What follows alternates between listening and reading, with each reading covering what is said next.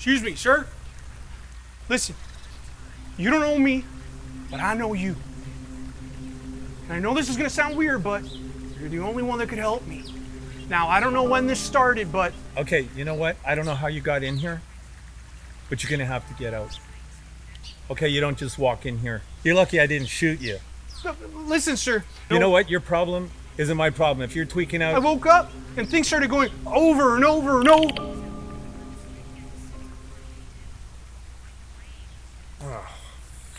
Shit.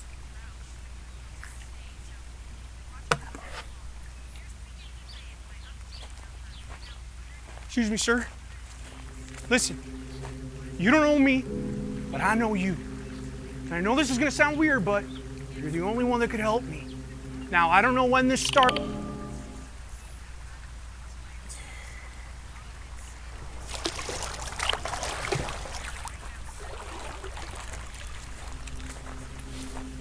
Excuse me, sir.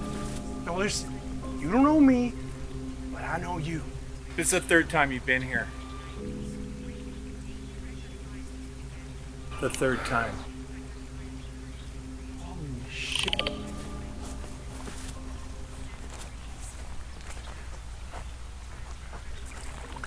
Excuse me, sir. Listen, You don't know me, but I know you. Damn, how'd you know I was gonna say that? What's this? You're caught in a time dilation loop. This creates an envelope for that. It hasn't happened in reality. Shit. Excuse me, sir. Yeah, no, I already know. Come in. Man, what is happening? Just stop talking, okay? Just stop talking. I got it fired up and working. Okay. Get in. Don't touch anything.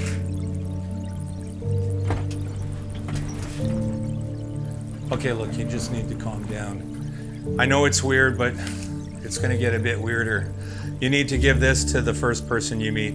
I know it doesn't mean anything to you, but it's going to mean everything to them. And it's a hostile environment. No, no, no, no, no, no, no, no, no, man, I don't wanna. I hope you know how to use this because you're gonna need it. Look, there's no way around this, kid. You're gonna have to go for this ride. Good luck.